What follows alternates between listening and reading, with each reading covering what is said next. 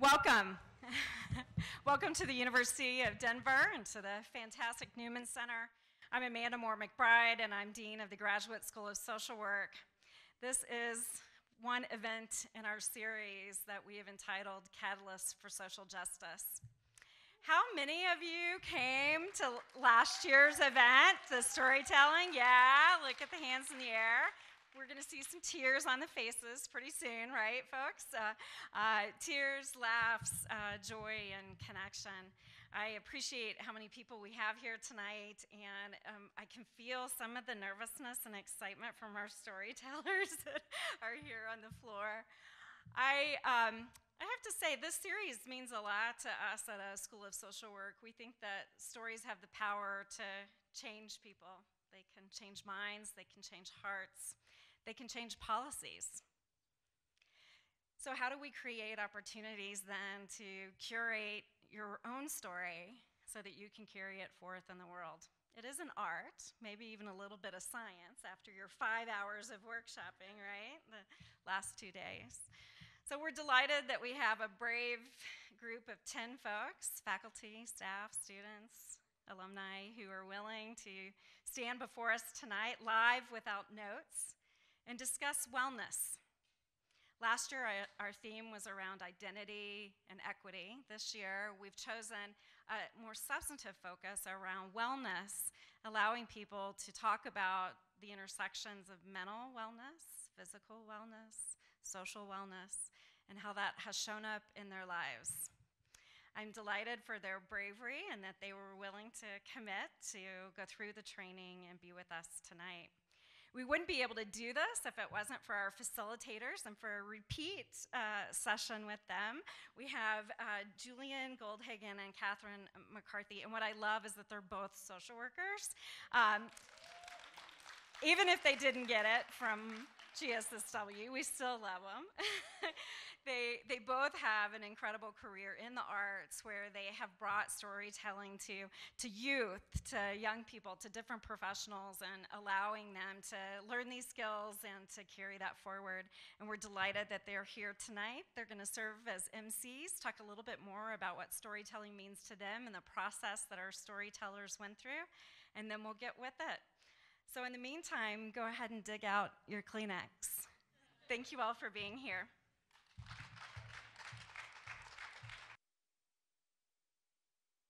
Good evening, everybody. Woo, how are we doing? Awesome. So thank you for that lovely introduction, Dean McBride. Um, my name is Julian, um, and as Dean McBride mentioned, myself, along with the amazing Catherine McCarthy, um, we have been here on campus for the past two days um, working with a group of 16 folks from the University of Denver community, from the greater Denver community, um, doing exactly what Dean McBride beautifully actually mentioned to you all, kind of really working with stories as a tool for social change. So in our group, we had folks who were social workers, who were advocates, who were educators, who were writers, who were really working in diverse areas. Um, and, through diverse means to really pursue equity. And so it was a privilege for us this weekend to get to spend the time hearing their stories and really learning from them and hopefully imparting some of our tools to help them be even more um, strategic and effective with the stories that they tell. Um, so Catherine and I are from an, a, a, collective called Speech Act. We are a New York-based collective, and we are entirely dedicated to um, thinking about how to use stories as a tool and as a tactic to sort of move the needle towards social justice. Um, and so this work looks different with different groups, but we facilitate workshops and we do all kinds of work that's really about how do we use our narratives strategically to inform policy, to galvanize communities, to educate, and really to pursue equity in a way that is more difficult to do, perhaps through um, just data um, and policy briefings alone. Those things are obviously really important, but we really do believe that stories and speaking to our humanity can make some of these larger and more abstract and more complex concepts and issues um, grounded in the person and viscerally connected to communities for change. Um, so, this past two days, we have been working in small groups. We've been doing a lot of brainstorming. We have been doing a lot of crafting, listening to stories, giving feedback to each other, really workshopping our own experiences so that they are the most effective um, kind of speaking of those experiences as we can um, muster up today, we love to think of stories as constantly works in progress. So, what we're going to see today are seven beautifully crafted works in progress that are going to be unfolding on stage live without notes. So, every time these stories find voice, they're a little bit different. Um, it depends on the storyteller's feelings, it depends on the people in the room. And so, we thank you very much for being here and for sharing this space with us. It's really impossible to create these interpersonal dynamics through storytelling without ears to listen to it. So, you all are playing a very important role. Um, yeah, so as I mentioned, we've got seven storytellers this evening just to give you some kind of technical um, idea of what you're about to see. So we will have all seven storytellers tell about five minute long stories. Um, and that's just so you know, it's not going to be like that cocktail party where your great uncle is going on for like 45 minutes and you're like, oh my God, I got to go to the bathroom. These are five minute long stories. Uh, there will be a bathroom break. We'll have a quick intermission. I always like to know like when I can use the bathroom. So we'll have a quick intermission after our fourth storyteller to kind of reset, um, take a breath, get some water, and then we'll be able to settle back in for our last three. Um, yeah, and we'll hopefully have some time afterwards to mingle around in the lobby and speak to each other about what we heard, how it made us feel, and maybe if it inspired us to take any action that we were not so inspired to take before we um, heard these lovely folks share their experiences. Um, so that's what you're in store for. I've been, we've been saying the word story quite a bit, um, and stories can mean lots of different things. So just to kind of let you in on what we think of at, at Speech Act as being um, a story. So as I mentioned, stories, we like to think of them as being on time. So our stories are gonna be about five minutes. Um, we're also really interested in thinking about stories as a vehicle to express some kind of personal change. So, in all the stories that you're going to hear this evening, there will be some sort of shift in the storyteller. They will be different at the beginning of the content of their story than they are at the end of the story. And we think that what happens in the middle, the I used to be this way, now I am this way, what happens in the middle, that's the story. And so that's what we're going to be hearing this evening. Um, all of the stories you're about to hear are true, honest, as remembered by the storytellers. So they're true stories, and we're not fact checking them. So we're really going to get this right. I know. In a world of fake news, we really honor the fact that your truth is true. And so we're going to be hearing these beautiful subjective experiences as they were lived by the people who were actually there. So they're on time, there is change, they are true, and as Dean McBride mentioned, all of our stories this evening are on the theme of wellness and health equity. And I think you will soon find that our storytellers approach this with, with incredible bravery and an incredibly open mind about what health and equity and wellness can really mean. And so we're thinking about those, that theme is very broadly defined and all the different ways um, that we encounter um, barriers to health equity, um, you know, challenges to facing our health equity, celebrations and experience of equity and wellness. Um, we'll see that all represented this evening. Um, I'm going to say now, I'm to say something really radical, so I hope I don't lose you. Um, but Raise your hand if you have a cell phone. Yeah, I think probably 30 years ago we might not have all hands up, but I'm seeing mostly hands. Take a second now to go ahead and turn that cell phone off. We're going to be together for the next hour and a half or so, and so we'll turn our cell phones off so we can really be present. Um, there'll be lots of time to tweet and Tinder later. Although this seems like a very eligible room of people, so please don't forget the Tinder part afterwards. It's really important. Um, I jest, but also I don't. Um, great. I'm talking so that we have time to silence our phones. I'm not singing any screens anymore, so I'm going to take that to mean they're off. Um, lovely. So, Health, equity, and wellness. Yeah, I mean, sure, we all, when we hear this kind of phrase, we think about health, we think about wellness. There's many, many experiences that come to our minds. When I was thinking about this phrase, I was really immediately brought back to being like a young, young child. Um, I was a very, a very shy little boy. Um, I didn't like to make new friends. I didn't like large groups of people. Like I would have hated this. Um, and like I was that kid that like during recess like sat with the teachers and asked them about their husbands. You know, like not a very like social little kid because I was really shy. And I now think back on that shyness and I'm like, oh, that was anxiety. Like I was an anxious little kid and I didn't know that that's what I was experiencing and I felt like it was kind of weird. And so my shyness was like a protective a protective strategy for me, a way that I kept myself safe and I kept myself comfortable, and it pretty much worked, and I had no problem being the one that never spoke up.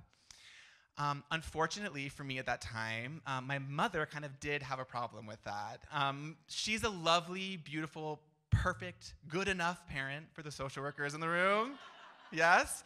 Um, and she happened, I happened to have two older siblings who were not shy, very outgoing, very outspoken. So for me, a little kid, to be the one that was like having a hard time speaking up, she really felt like that was going to disadvantage me, and she wanted to kind of push me to break through my shyness. Um, and it just so happened in second grade, we got a new music teacher at my school named Miss Popa. Um, and she created this after school group called Music Club, where only second graders, the oldest students in the building, only second graders could go and like after school for 45 minutes, like play the recorder and sing and play the glockenspiel and like have a whole musical moment. Um, she created this group and it was instantly very popular. All the second graders wanted to do it. It was like an elite music group.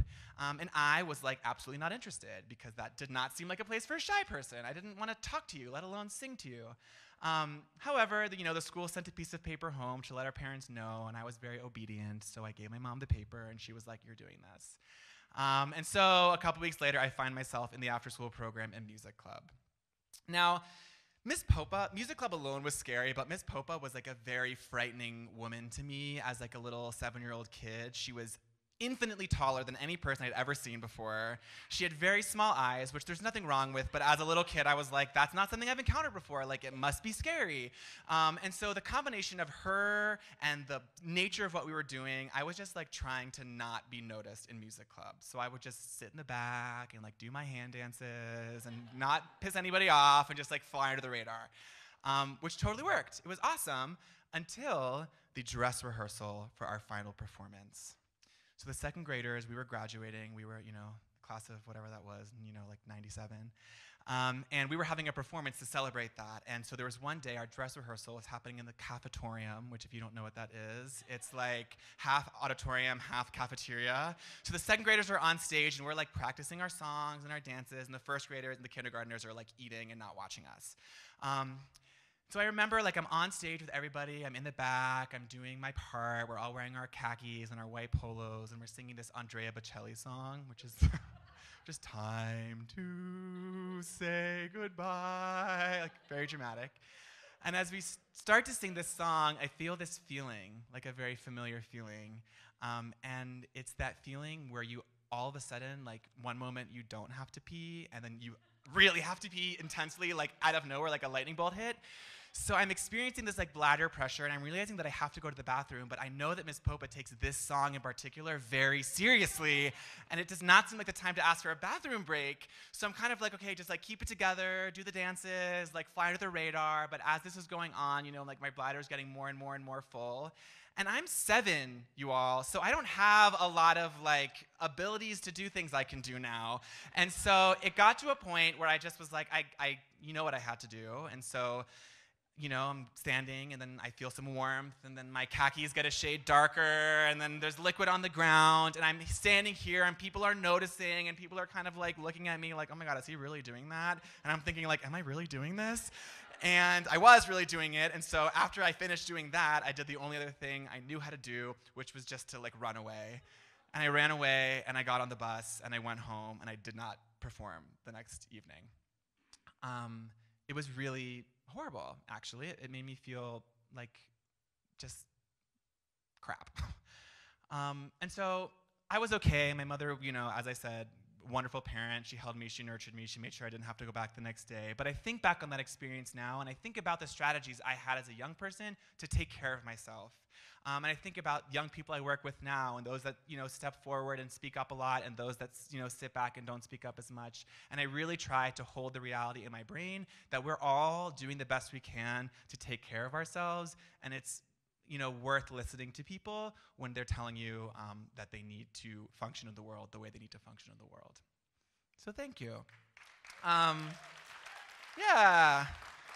You're like, I didn't think I was going to hear about pee today, but like, there you go, breaking the ice. Um, all right, you did not come here to hear me tell stories. You came here to tell us, hear stories from our wonderful storytellers. So I'm not going to waste any more time. We're going to bring them up onto the stage. It is scary to tell stories in front of people, um, especially in a beautiful amphitheater such as this. And so we want to make sure that all of our storytellers, but especially our first storyteller, gets a lot of love and support before they come on stage. And so, in order to ensure that, we are going to practice a rousing round of applause, um, and we're going to do this incrementally. So I'm going to ask us, we're going to start at a one, and then I'm going to kind of guide us through all the way up to a 10, and then that is going to be our like rehearsal because we want like a 13 for this first storyteller. Does that make sense? Great. Okay. Kind of. Just go with it. Trust me. That's the theme of the weekend. Does it make sense? Kind of. Don't worry about it. Um, all right. So we're gonna start off like a simple like golf clap, like a nice subtle waspy great. You can like see the boat shoes and the polo. That's lovely. Okay, so now we're gonna bring it up to like a three, like you're at like a kid's soccer game, and it's like early on a Saturday, but you love your children, so you're there. All right, now let's bring it up to like a five, like it's an outdoor concert of someone cool, like you didn't buy the ticket, but you're excited to be there. Now let's bring it to like a nine, like it's a cool person. A 13, it's the Beyonce concert. It's Beyonce, and so really, I just wanted to do that. So thank you, selfishly, for allowing me that. So just that much round of applause for our brave, amazing first storyteller, Kate. It was three days after my 18th birthday. I had graduated from high school, near the top of my class. I was a two sport letter person. I, I was really wicked smart, and I was off to go to the United States Air Force Academy in the third class of women. I was prepared, I was ready, I was excited. I flew out to Denver. My cousin drove me down to the academy, down I 25. It took about an hour and a half, and I was excited. And she dropped me off at the base of the Bring Me Men ramp, and I was ready. I was ready to run, I was ready to do the academics, I was ready for basic cadet training but I wasn't ready for the racism and the sexism, the sexual harassment that we experienced at that time. The one good thing my freshman year was that I played volleyball. Actually, I sat on the bench, but I was on the team. And I met my teammates, some of them in the first class of women, some in the second class, and we all took care of each other. I remember my friend Mo would put M&Ms in my mailbox for me to find. My friends Kathy and uh, Julie Kay and Dennis would march us back after practice across the terrazzo um, so we didn't have to walk on the strips. We had to learn five things that we could say No, sir. Yes, sir. Sir, may I ask a question? Sir, may I make a statement? And, sir, I do not know that was my experience, and it was hard. So the joy was when we would play volleyball on the road. We'd take a bus, drive up I 25, sometimes to Denver. Uh, Colorado Women's College was one of the teams we played. Or sometimes we got to go up to Greeley and play against Fort Collins. And then we would always stop and have dinner here in Denver. And sometimes we went to Casa Bonita and we play on the slides and enjoy that time. And then as freshmen, we had to wear our full uniforms. But on the bus, we could laugh and joke and play. And the bus would take us further and further, closer and closer to Colorado Springs. And by the time the bus hit Monument, the bus was quiet because we knew what we had to go back to do. And so by the time we hit exit 156B, the turnoff for the academy, the bus was still. Let's fast forward a little bit. I survived, I graduated, and um, I got an email from a friend saying, hey, let's all go up to Vail or Aspen and have a reunion of volleyball players basketball players, uh, rugby players, um, just to have a good time and reminisce about the good old days. So there we are, a bunch of 40, 50 year old women drinking, playing golf, having a good time, laughing and joking about all the good times that we had while we were at the academy. And then my friend Kelly said, the good times, the good old days, they weren't all that good. And we had to talk about it. And we talked about the bad things that happened. And one of those things that happened, not just the racism and the sexism, but women at the academy were sexually assaulted. And we were quiet once again thinking about that. So then, about a year and a half ago, when we're old, retired, moms, grandmothers, lawyers, doctors, engineers, we decided it was time to do something about it. We, we weren't in the Air Force anymore. We didn't have any fears about our careers. And sadly, women and some men are still being sexually assaulted at the United States Air Force Academy. So we banded together, about 15 of us, and now we're called Zoomies Against Sexual Assault. And we meet with the superintendent, we meet with the commandant of cadets, and more importantly, we meet with cadets. We support them, we teach them, we, we attend uh, court martial uh, so that we can support uh, survivors of sexual assault that are courageous enough to come forward. We teach ethics. We cheer on the basketball team or we go to volleyball matches. And so I drive down to the academy a couple times a month to teach ethics. And it's about an hour door to gate. And as I drive down I 25 and I cross Monument, I don't get that same feeling in the pit of my stomach. I'm not quiet. And when I go tomorrow, I think I'll be okay. Thank you.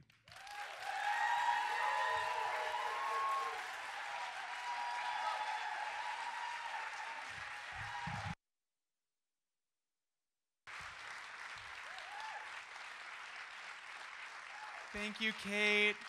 Thank you, Kate. Such a beautiful story. I mean, I'm struck so by so many things that you shared, uh, the least of which is just really thinking about this supportive network of women, supporting each other throughout those experiences. Yes, round of applause going back and caring for your community once you've already left, I mean, it's, it's beautiful. And I think it's also worth noting that we had the privilege this weekend of really, or I had the privilege, I'll say, this weekend of really working within a community of very supportive women. All of our participants happened to be um, she, her identified. And so we really got to share in that space together. And I think your story is a beautiful reminder of what women can accomplish when they show up for each other. So one more round of applause for Kate. Thank you total sidebar, but this like Casa Bonita situation. So Catherine and I love coming here for many reasons, the least of which is Denver has some great eateries, and I'm feeling like Casa Bonita maybe should be on our list. No, it's bad? Oh God. Also, this is being live streamed, so sorry, Casa Bonita. Um, so it's bad. Interesting. I thought it was good because you were like, ah, but that was like knowing it's horrible. Okay, cool, great. So Never mind, Catherine, we're not going there. Um, okay, cool. So, are we ready for our next storyteller? Awesome. So, let's give a huge warm round of applause for the wonderful Robin.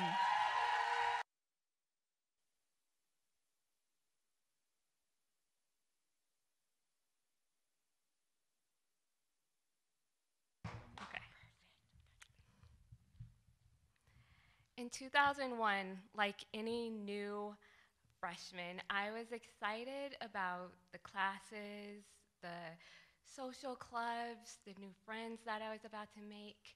I was ready to start my new adventure um, into college. For me, when I was looking at colleges, according to my parents, I had three states to choose from. One being staying at home in Colorado, the other, Kansas, and the third one was Oklahoma. And so I chose Oklahoma, Oklahoma City. And I enjoyed it. I loved it. I loved the dorms. I loved being around the new people that I had met. My freshman year, during one November evening, It was about 6:30 or 7, I would say.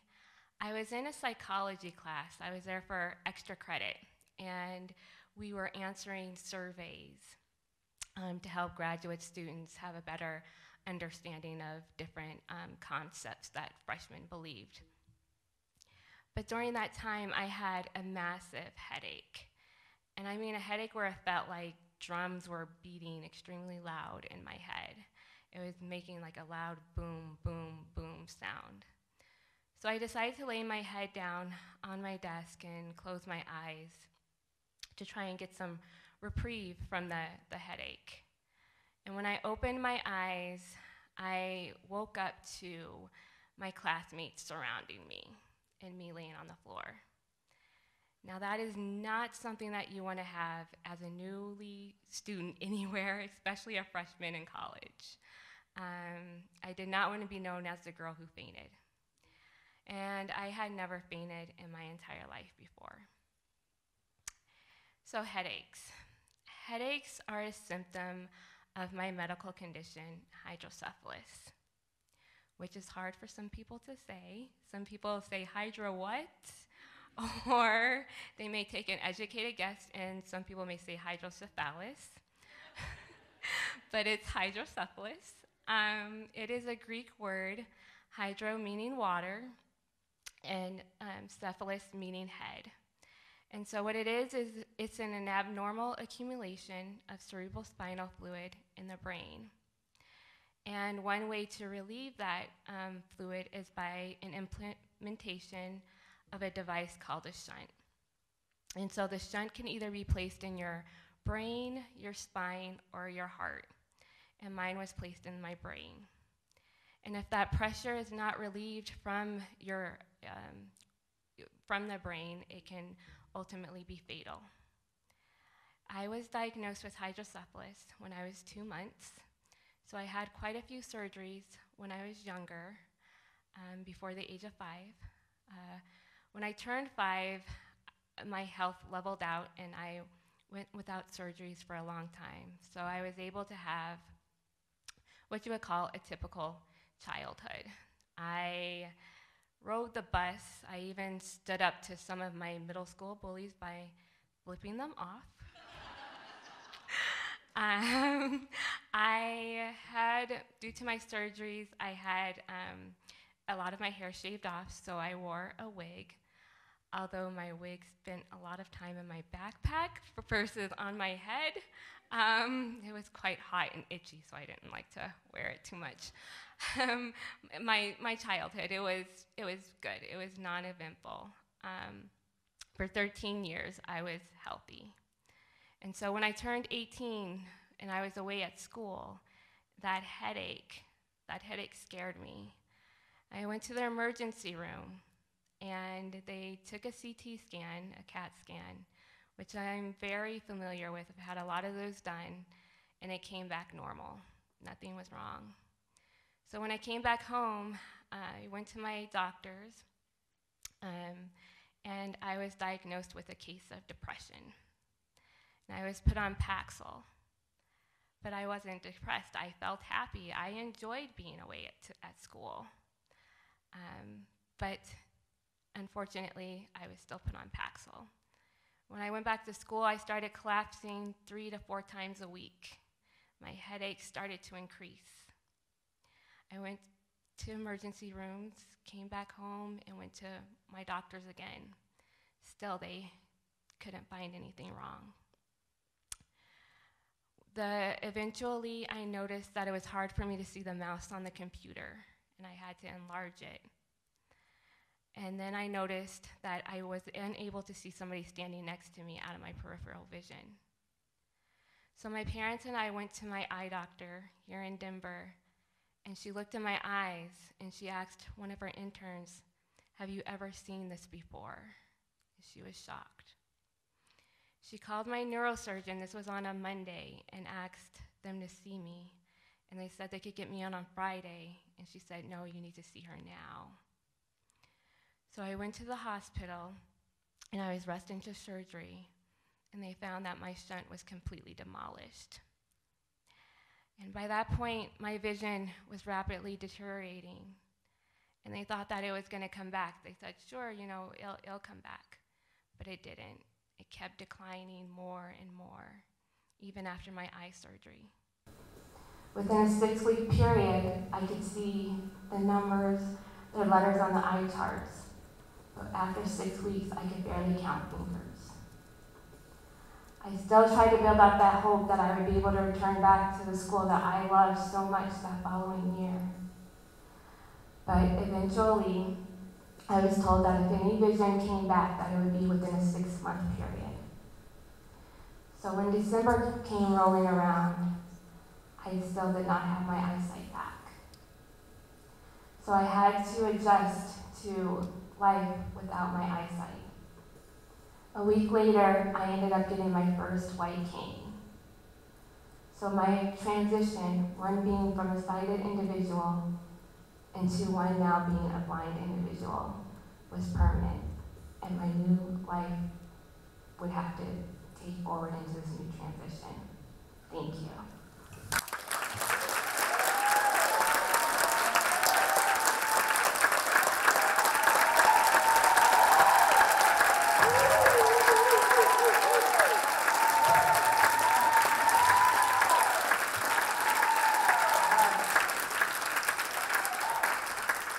Thank you, Robin. Thank you.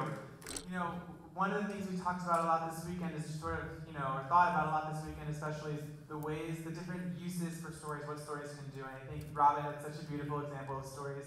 They can educate, they can inspire empathy, they can make us think about our own choices and the way we support or, or don't support others. So there's so much in that story, and I want to say thank you for sharing it. One more round of applause for Robin.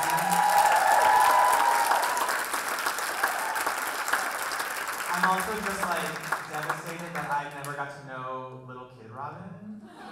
She sounds very cool, like flipping off bullies and not wearing her wig. I'm like, all right, I gotta learn something from that Robin. Um, yeah, love it, love it, love it, love it. Um, what do y'all think? Are you ready for our next storyteller? You feeling like you want to keep this ball rolling? Okay, great. So, um, I'm just gonna bring her up. How about that? Yeah, great, cool. Um, all right, so let's give a huge round of applause for our next great, wonderful storyteller, Nat.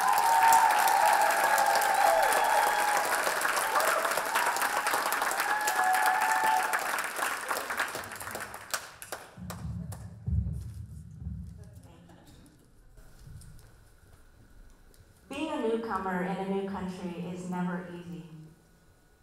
I was born in Vietnam, and I was forced to flee from my homeland due to war. As part of our transition into our new home, my parents had to find some sort of financial stability in order to provide for our family, which meant trying to locate employment with their limited English speaking skills, despite the fact they're highly intelligent in our native tongue.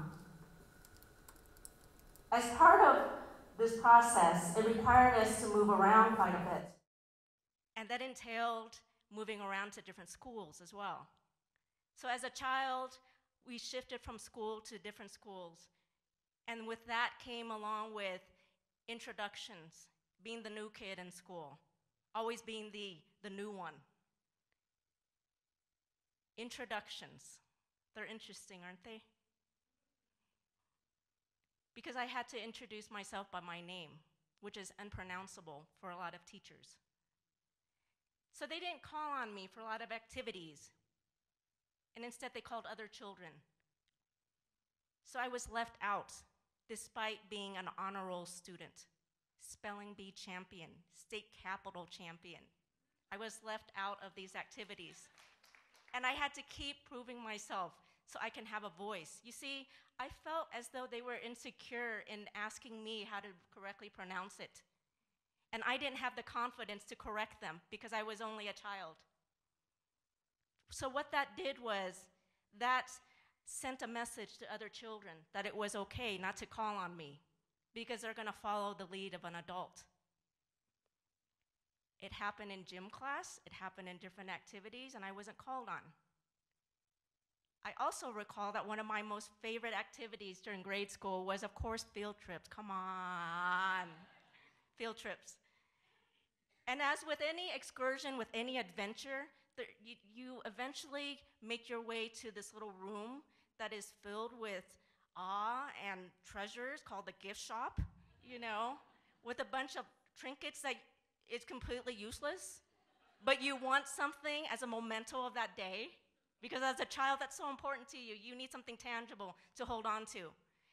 And I remember my classmates running to the corner of the store around this carousel of items with hooks. And I wasn't quite sure what, it, what was going on until one of my classmates took off one of the items from the hooks, and it was a keychain with their name on it. Jonathan, Amanda, Rebecca, Jennifer. For me, I stood back because I knew that wasn't for me. I knew I wasn't going to find my name there. And I knew it was another reminder that I was excluded. As I made my way into adulthood, I noticed that people around me with foreign names or names that were different did one of three things. They either went by the first letter of their name, they abbreviated it or shortened it or went by a nickname, or they just outright changed it into something more pronounceable and more Western. And I thought, well, I get it. You know, because there are days when it's actually humorous for people to try to pronounce my name, and then there are other days where it's aggravating, and then there are other days I'm like just exhausted. Oh, this again, you know, not this again. But the one experience that I encounter frequently is when I go up to the counter to order coffee at my local coffee shop. You know the drill. I go up to the counter and I can tell you exactly what's going to happen, play by play. I can tell you exactly every second of what's going to happen when it makes its way through. I order my drink, it makes it, they write my name, and I have to repeat it multiple times. Write my name, it makes its way through the conveyor belt of coffee, and then they make the coffee for me, which that joyous sound of coffee brewing, you know, with the foam and the awesome sound. Then it makes its way through to the end of the counter, and then that person has the unfortunate job of having to decipher how to pronounce this. When I have people next to me during this situation, I get to be a little bit of a kind of a um, kind of a smartass Nostradamus, kind of a and I, I, tell them, you know, this is what's going to happen one of two things. They're either going to spell my name or they're going to just call out my coffee drink. But they're not going to actually say my name. Sure enough, they called out the, what I ordered, the drink. And that's fine. That's fine. Today, however, I don't let people do that anymore. When they mispronounce my name, I have the courage to speak up and I correct them because it's something important to me. It's who I am. I won't abbreviate my name like oh, I won't abbreviate my identity. And I won't make it easier for you because it's not supposed to be easy. It's called respect. Respect can be difficult at times but you need the courage to be respectful. Because I know that my name links to my ancestors, my heritage, my homeland that I lost. It all connects to me. And I was given that name for a reason, because it exudes something. It's for me to embrace. I need for you to know my name is Na, and it symbolizes swan. Thank you.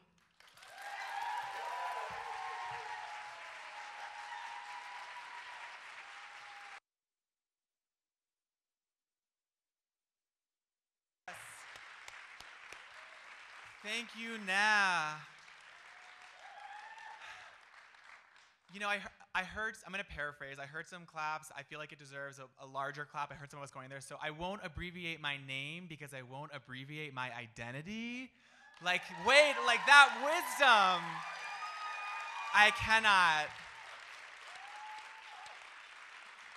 Yeah, just so much to think about now. The way that children watch us, what we model for them, the importance of language and standing up for ourselves. It's, it's such a beautiful story. Thank you for sharing. Um, I want to share with you all also um, this moment. So, Nan, I was fortunate to have Nan, my sort of small group cohort. We did some workshopping in small groups today. Um, and when she mentioned the thing about the like keychain nameplate, everyone's like, oh, yes, like we all know that. Yeah. And I was thinking that like you can tell a lot about a place by the things that they choose to print names on. So like I did a lot of driving around when I was younger and a lot of rest stops. And some, some places it's keychains, some places in mugs. I'm from Florida, and I, in Florida they do a lot of like um, painted names on dead alligator heads. so like that's really weird, right? Um, anyway, one more round of applause for Na.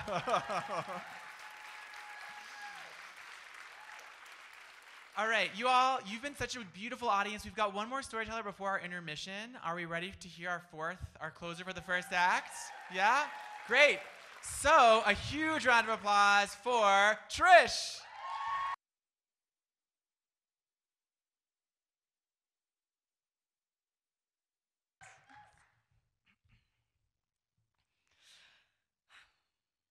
It's the summer of 1992. I'm seven years old my twin brother, my mom, and I are in southern Missouri. We're sticky from the summer humidity, but we're snuggled up in a hammock at my grandmother's house. And this is the moment that she shares with us that my brother and I are sperm donor babies. And so, this is something that we carry with us through life. I never had this yearning to find out who my biological father was probably because my mother, though she was a single mother, is a saint. She never left me wanting anything. And so it was always just a bit of a quiet curiosity that my brother and I shared.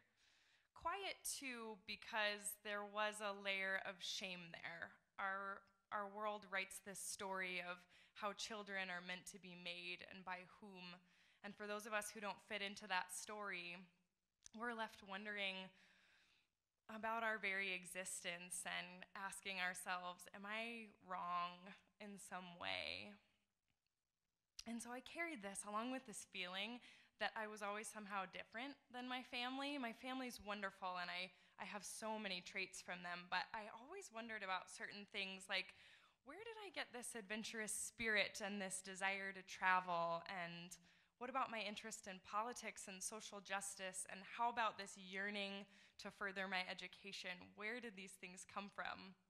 And it cooked up this image in my mind of who my biological father was, and I have no idea where I got this, but in my mind, he was very stuffy, very wealthy, gray haired man who drove a red Corvette and played a lot of golf. and he lived in Scottsdale for some reason um, that I have no connection to.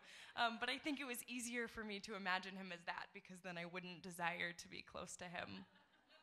So I carried this with me my, my whole life until just about a year ago. My mom got my brother and I subscriptions to Ancestry.com. We both have uh, young children, and so she wanted us to be able to access that other half of our um, kind of genetic uh, side and some medical history. So my brother and I both did the, the DNA swabs. We mailed them in um, with the expectation that we would get a very macro view of um, kind of that side of the family.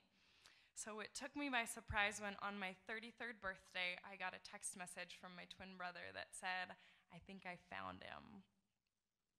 So these days, with Ancestry.com and a simple Facebook search, we were able to locate him.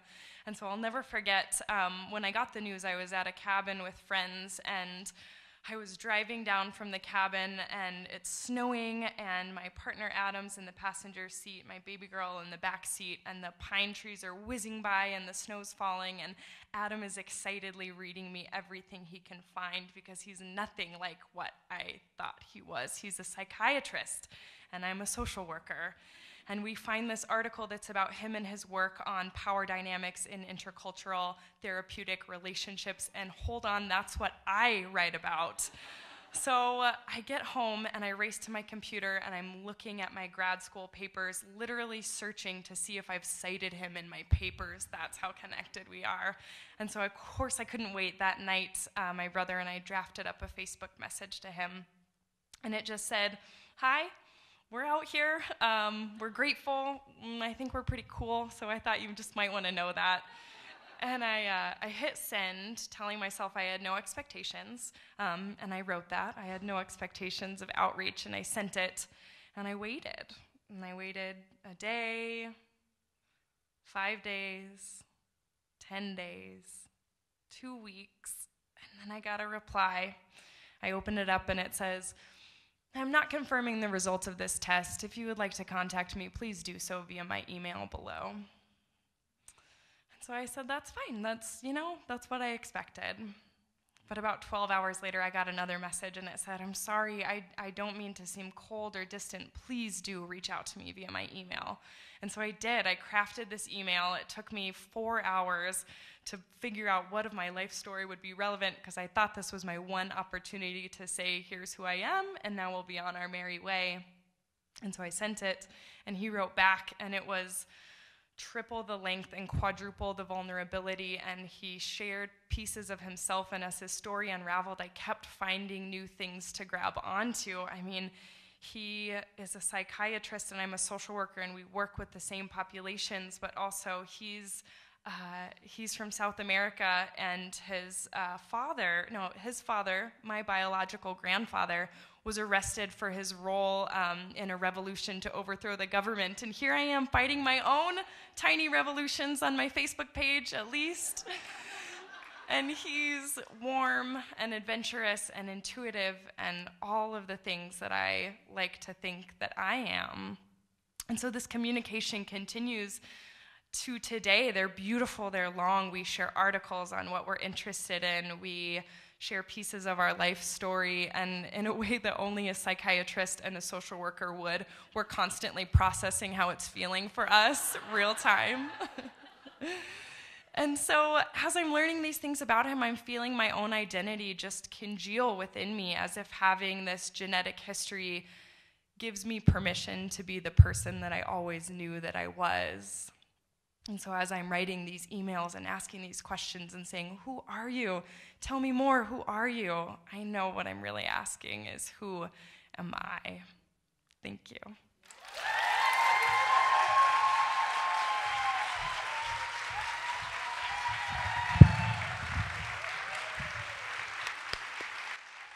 Thank you, Trish. Yeah, let's give it over, Trish. What do we think, you all? Do we think Trish is pretty cool? As she mentioned, yeah, Trish is pretty cool. We agree with you. Love the e processing. There's definitely, yeah, some robot somewhere is really getting into that, so it's a gift you gave to the algorithm. Um, also, we, we talk a lot um, in the past couple days about scenes in stories, how, stories, like those moments in stories where you really kind of feel like you're watching it in a movie and you're right there with the storyteller. And Trish, I feel like your story is such a beautiful example of that. We're in the car with you, we're at your keyboard with you, we're like, you put us in your brain. And that's a really generous thing to do. So thank you so much. One more round of applause for all of our storytellers in this beautiful first act. So we are now going to take a quick intermission. So feel free to get up, stretch your legs, check your phones, and we'll be back in a bit to hear the rest of our stories. Oh, hello, everybody. Welcome to the second half. Um, you know, this weekend, as I'm sure you can already just tell from the stories, has really been a powerful and transformative experience. And I think part of that, or so much of that, really is due to the wonderful, like, as I said earlier, support that is within the group. Some of us knew each other coming into this weekend, but many of us were total strangers, didn't know each other's work, didn't know each other's lives, and we were only together for five hours, if you can believe it, two and a half hours per day. So, yeah, so in the course of a very short period of time, people really took the brave step of opening up and the equally brave step of really listening and holding one another's experiences. We talked a lot about how every story that someone shares is an important story, and so it's vital that we treat each story as if it was like a precious gem because they are. Um, and this group, I think, is just really the gold standard of that. And I'm thinking back a little bit now to, oh, Naz, um, getting something to drink. But I'm thinking back to Naz's story about sort of like the importance of modeling and what people sort of receive non-verbally. And I can tell just from the quality of listening in the room that that same support that we had in the workshop space really feels like it's present with us right now. Um, yeah, so round of applause for you all, audience, for showing up, for listening. I recognize some of you from the crowd last year, so it's great to see you again. Um, and we're going to continue right on. Naz back. Naz, you get your, get your water? Perfect, great. Just killing time until you got here. So now we're ready to start. Um, we know how to applause hugely, so we're not going to practice again. We're just going to go right to a 13 to bring our opener to the second act. Huge round of applause for Mackenzie.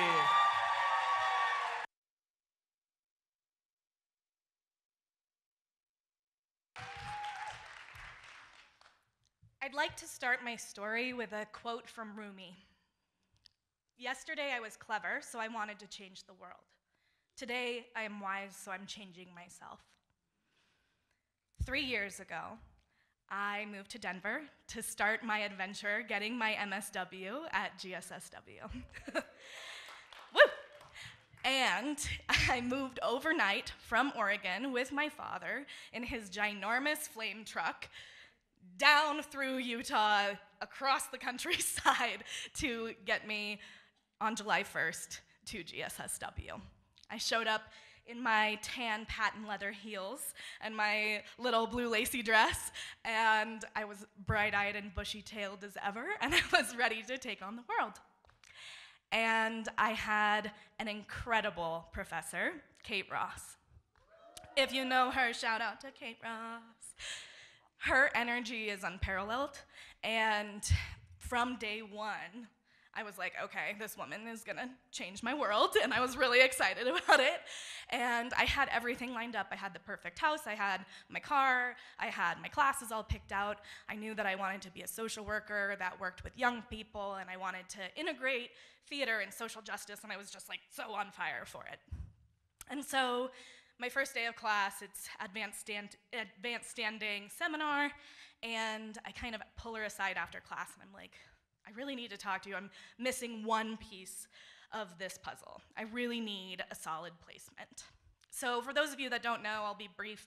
Placement is an integral part of the social work experience where you get to apply the skills that you're learning hands on in the community. So, a lot of people interview many different places, and oftentimes this process begins in like January, February or so. So, I felt a little behind the ball, and my A type personality was like, I gotta find it tomorrow, you know?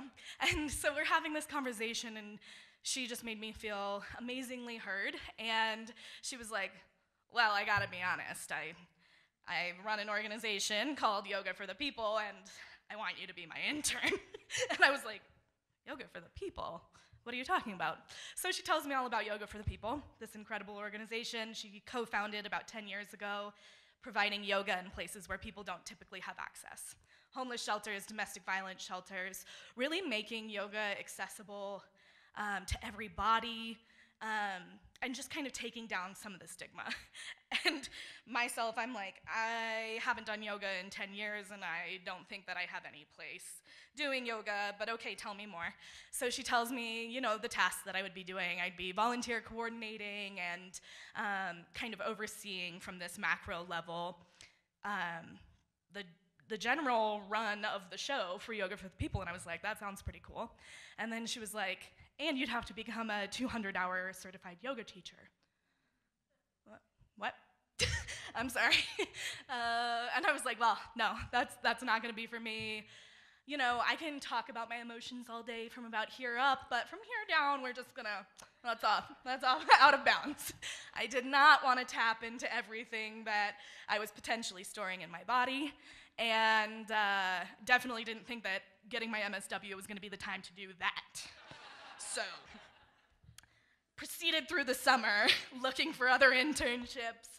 I think I interviewed in my little dress and patent leather heels, maybe like six different places, got six different offers, and I'm just like racking my brain. Like it was eating me up to the point, and it's it's August by this point, so I'm like freaking out because everybody has an internship, and I'm like, I don't have an internship. I have six offers, and I don't want any of them, and I'm, I'm not sure why. They all were amazing opportunities. They would have been great for anybody. Um, incredible organizations throughout the Denver area, working with young people, working with teachers. And it just wasn't sitting right. I ran all the numbers. I like had this Excel sheet where I was like rating them and all the experiences that I could have with them, and uh, nothing was nothing was coming to the surface. So, Kate's like, I have an awesome therapist and you need to go see her. and I was like, "Eh, yeah, fair. Okay, so I go see a therapist and I'm, it's the first day. I'm sitting in the therapist's office and I'm doing this whole spiel to her, basically, that you all are seeing. And she's like, okay, center yourself, close your eyes, we're gonna do some grounding. So I close my eyes and I feel my feet on the ground and uh, my hands on my legs, and I'm like, okay, what's gonna come to me? And she's asking me some questions and walking me through these prompts, and it just kind of hits me in my gut. And I open my eyes and I'm like, I think I'm gonna become a yoga teacher. I think I'm gonna become a yoga teacher. And I'm like, did that just come out of my mouth? Did I did you hear that right? She heard it right. And so that's what I did. And uh, it was the best decision I've ever made. It was non conventional, it was um, out of the box of what I ever thought that I would do with my MSW. And it really taught me to take better care of myself as a practitioner. It taught me to dig into my story and figure out all the stuff that was swirling around in my guts that I didn't want to pay attention to. And that has made me, you know, a better practitioner overall. So I traded my patent leather shoes in for bare feet and comfy yoga clothes. And I traded all the answers that I thought I had for a hell of a lot more questions. And here I am on my journey towards figuring out my stuff. And I wouldn't trade that for anything. Thank you.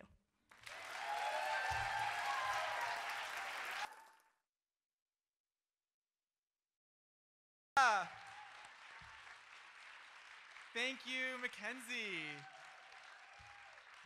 Talking to us about self care, talking to us about pushing yourself, this comfort zone plus one, taking a different path, so much beauty. One more round of applause for Mackenzie. Really, really great. Also, in listening to your story this time, and you in like the patent leather shoes and the blue dress and like ready to change the world, it just made me really wonder. I am not a social work like faculty member, and it made me really wonder what all you faculty members must be thinking like during that first day of school when you see all those like first year social work students roll up in their shoes and they're like, I'm, a, I'm gonna change the world. You're like, oh, just you wait. Like, you're gonna do a lot of things before you change the world, and it's gonna involve breathing and closing your eyes and writing a lot of process recordings. Um, but we love it. That's why we love it. Um, totally. Gosh, yoga. I was also thinking about that, just that I'm gonna become a yoga instructor, you know? And in this story, it was like, I'm gonna become a yoga instructor. Yay! I feel like when I told my parents I was gonna become a yoga instructor, which I'm not, they were like, We're not paying for another thing that you're not gonna do. I was like, This is my passion. And then it's like 10 years later, I'm like, I don't do yoga. I watch The Real Housewives and when I go to home, and that's it. Um, whatever. Now I'm just like talking about things that no one asked about. Um, we should move on. Yeah? Okay, cool. So we've got another storyteller. Um, actually, incidentally, this storyteller on the theme of yoga taught me something new that I did not know existed, which is laughter yoga.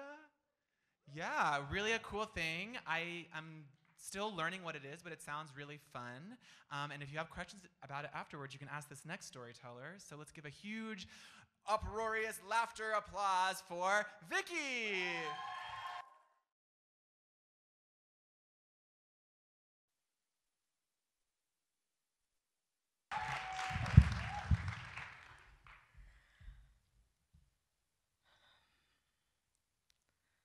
Twenty-two years ago, almost 23 now, I was diagnosed with breast cancer and followed up with a mastectomy. Needless to say, it was life shattering. Not long after that, I decided I needed to write memoirs. I didn't know how long I had to live, and I wanted to leave a legacy. I wanted to tell people about my life. I don't know, just record my life. And so I wrote a lot of memoirs. really, a lot. But I never published a book. It, I had enough for a book, but one of the things I, that happened while I was writing is it seemed the story, the memoirs fit into three major categories. One was my childhood as a military brat and a good little girl. The second was my radical youth as a revolutionary. And the third was my adult life with all its ups and downs and work and social life and cancer and whatnot. And those three parts didn't seem to mesh at all. They didn't they were so disparate. They didn't fit together and I didn't know what to do about that. Also, just around that time, just actually a few months before my diagnosis, I started something new. I uh, became a sculptor, a stone carver. And uh, I found that when I was able to uh, get back to my carving after surgery, that all my sculptures were trying to tell me something, but I, I didn't know what it was until after I completed them and I had to come up with a title. And then I realized they were all giving me messages about my life. The one that I completed first after surgery was a two sided figure. I kind of thought, it, thought of it as comedy and tragedy. And the tragic side was a kind of shrouded female figure, their head slightly bowed, and one hand over her left breast. The other side, which I thought of as comedy, was also a, a female figure, kind of in a, long robe, and with kind of a face sort of like a mask, like a, a Japanese um, uh, drama mask, but it was a happy face with a big smile. And I named it Look on the Bright Side. I made another sculpture of a dog, kind of in a crouched, playful position with a ball, and it's called Play With Me. And it reminded me that I had to remember what was important in life and take time for the fun things and, and enjoy. Then I had another sculpture. I, have had many other sculptures, some of which sold, some of which I kept. but one of them was uh, another female figure who's bending over and she's picking up something from the ground. And what she's picking up are little pieces of rock, the same alabaster that she's made out of. And while I was carving it, part of her head came off. It's the only time that happened my whole carving career. And I didn't know quite what to do. I thought, well, mm, well, let me try to glue it back on and see if I can salvage the piece. And I did. I glued it back on, and uh, you could still see the seam, even though I mixed the glue with some alabaster dust. but I decided um, to give her a babushka and texture the top of her head in the babushka, and that kind of hid the seam. And, uh, but I realized that sculpture had actually fallen to pieces. And she had lost her head. but I put it back together. And the name of the piece is Picking Up the pieces. So, after writing all these memoirs and making a bunch of sculptures, I um, showed my memoirs to an editor, still thinking it might make a book, and she said, Well, I would change it. Instead of having individual, individual memoirs in a chronological order like you have, I would instead uh, rewrite them as um, essays with each one a theme, and each one, each chapter, starting with one of your sculptures. So I did that. I rewrote everything. I, I incorporated my sculptures, and, and that was good. And actually, what, uh, what I um, what came to me from that experience was, you know, all those disparate parts of my life, those three pieces that didn't go together at all, the lines were erased. And I, I realized that, that they were all part of who made me who I am. And so I realized that my work, what I need to do, is pick up all the pieces of my life and embrace them all because they're all part of me. And all of them together make me whole. And it was that day my healing journey really began. Thank you.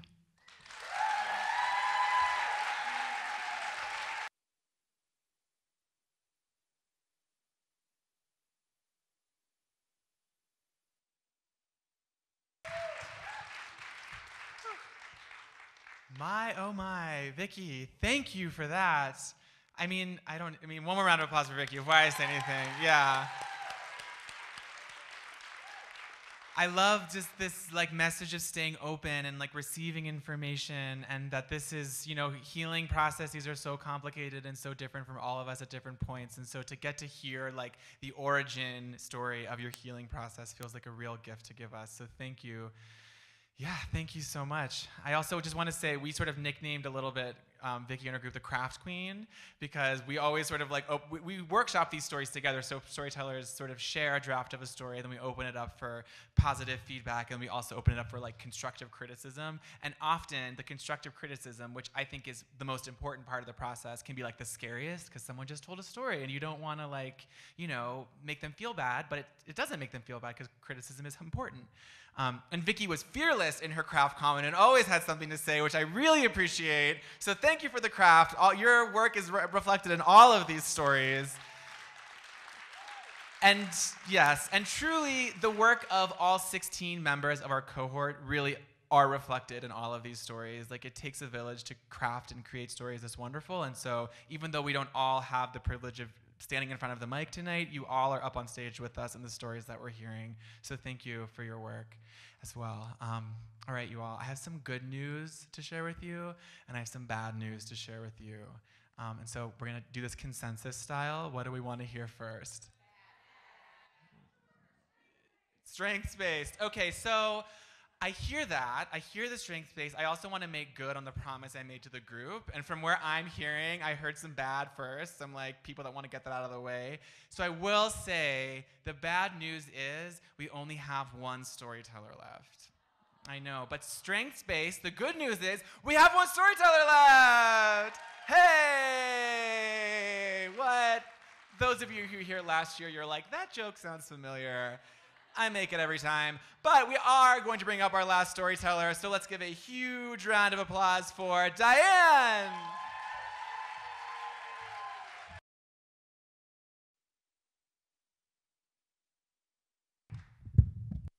Weird.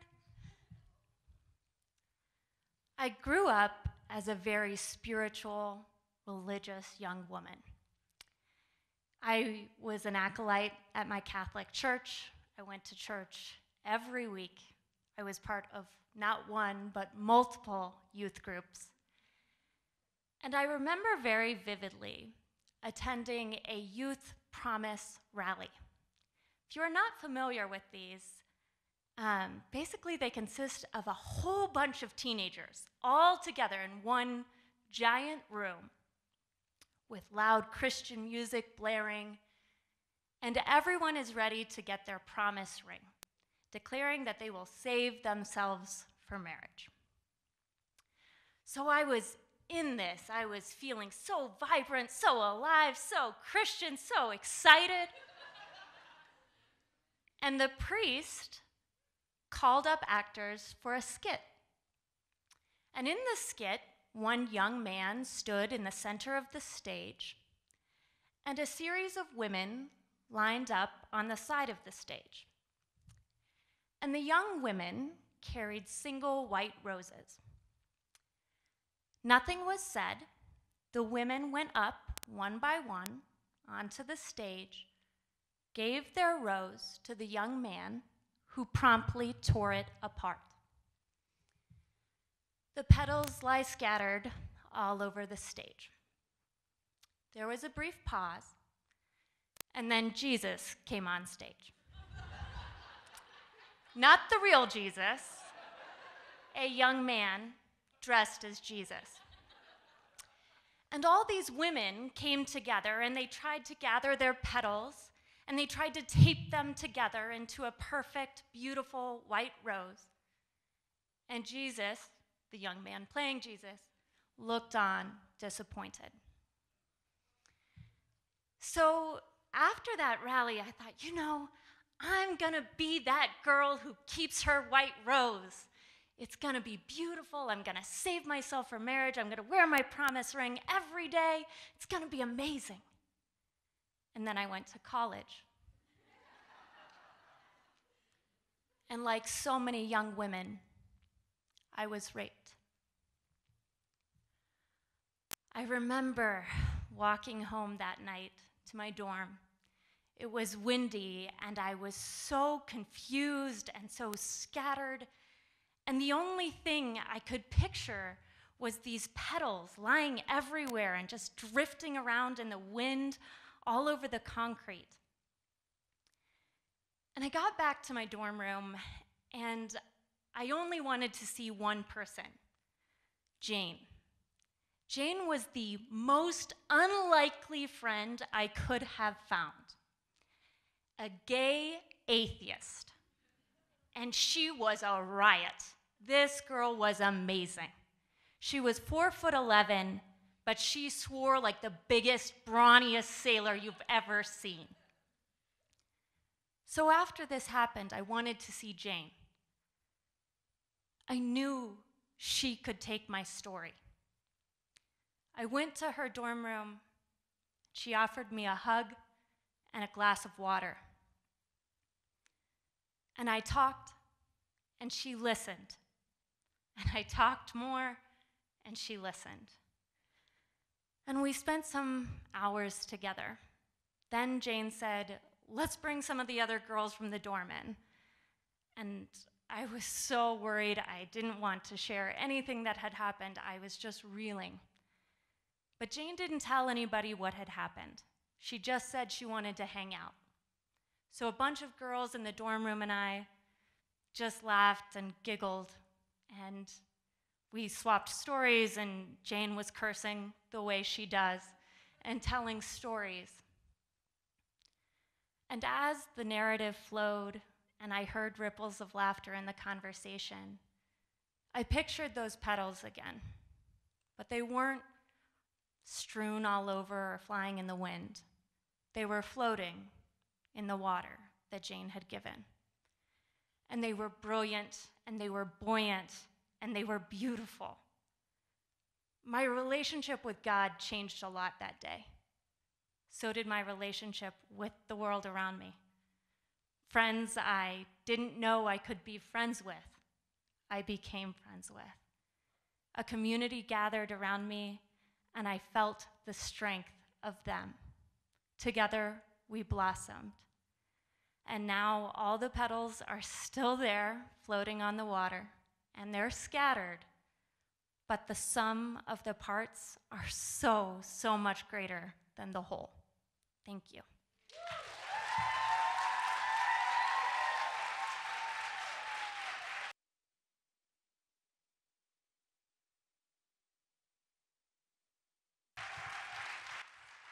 Yeah, let's keep it going for Diane.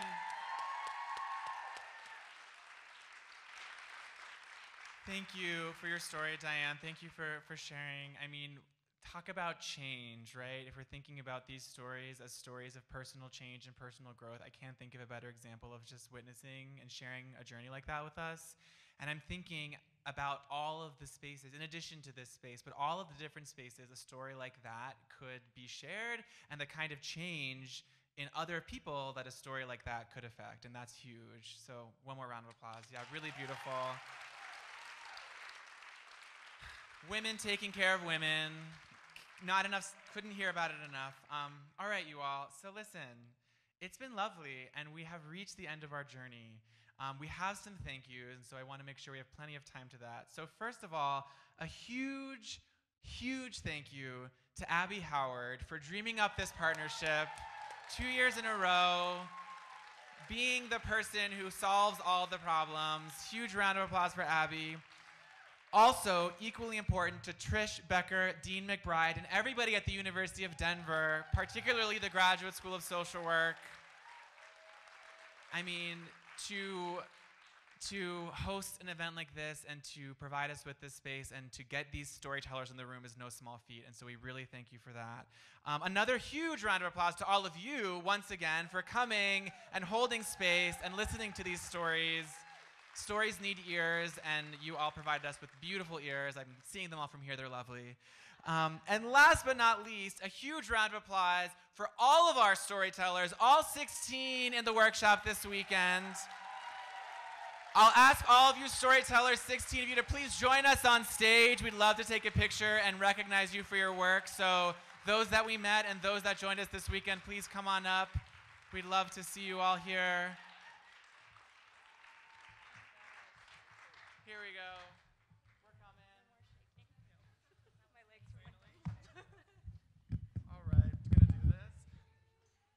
All right, and so let's now that we're all up here, one big round of applause for the 2019 Catalyst Stories for Social Justice cohort.